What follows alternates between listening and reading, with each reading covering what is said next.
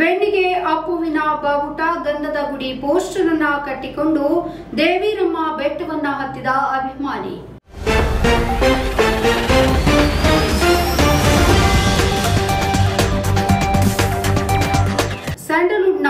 ನಟ power star doctor Puneeth Rajkumar ಅಗಲಿ ವರ್ಷ ಆದರೂ ಅಭಿಮಾನಿಗಳು ಮಾತ್ರ ಅಪ್ಪುವನ್ನ ನೆನೆಯದ ದಿನಗಳಿಲ್ಲ ಅಂತಾನೆ ಹೇಳಬಹುದು.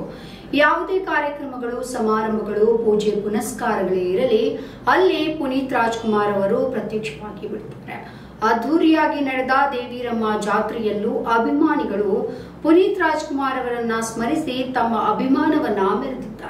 ಇಲ್ಲಿನ ಅರವಿಂದ್ ನಗರದ ಪುನೀತ್ ರಾಜ್ಕುಮಾರ್ ಅಭಿಮಾನಿಯೊಬ್ಬ ದೇವಿರಮ್ಮನ ಬೆಟ್ಟವನ್ನ ಹತ್ತುವಾಗ ಅಪ್ಪುವಿನ ಭಾವಚಿತ್ರ ಇರುವಂತಹ ಟಿ ಶರ್ಟ್ ಅನ್ನ ಧರಿಸಿ ಭುಜದ ಮೇಲೆ ಅಪ್ಪು ಬ್ಯಾನರ್ ಅನ್ನ ಹಿಡಿದು ಬೆಟ್ಟ ಹತ್ತಿ ಗಮನವನ್ನ ಸೆಳೆದಿದ್ದಾರೆ.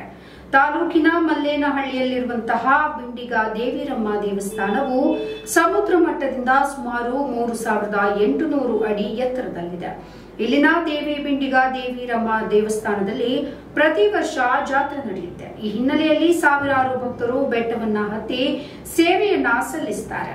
ಚಿಕ್ಕಮಗಳೂರಿನಲ್ಲಿ ಕ್ಯಾಂಟೀನ್ ಇಟ್ಟುಕೊಂಡಿರುವಂತಹ ರವಿ ಅವರು, ಅಪ್ಪು ರವಿ ಎಂದೇ ಫೇಮಸ್ ಆಗಿದ್ರು.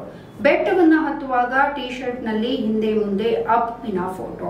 ಕೈನಲ್ಲಿ ಕನ್ನಡದ ಬಾವುಟದಲ್ಲೂ ಕೂಡ ಅಪ್ಪುವಿನ ಫೋಟೋವನ್ನ ಹಿಡಿದು ಸಂಭ್ರಮಿಸಿದ್ರು. ನಮ್ಮ ಈ ವಿಡಿಯೋ ನಿಮಗೆ ಇಷ್ಟ ಆದಲ್ಲಿ ಲೈಕ್ ಮಾಡಿ, ಶೇರ್ ಮಾಡಿ, ಕಮೆಂಟ್ ಮಾಡಿ ಮತ್ತೆ ಸಬ್ಸ್ಕ್ರೈಬ್ ಮಾಡಿ.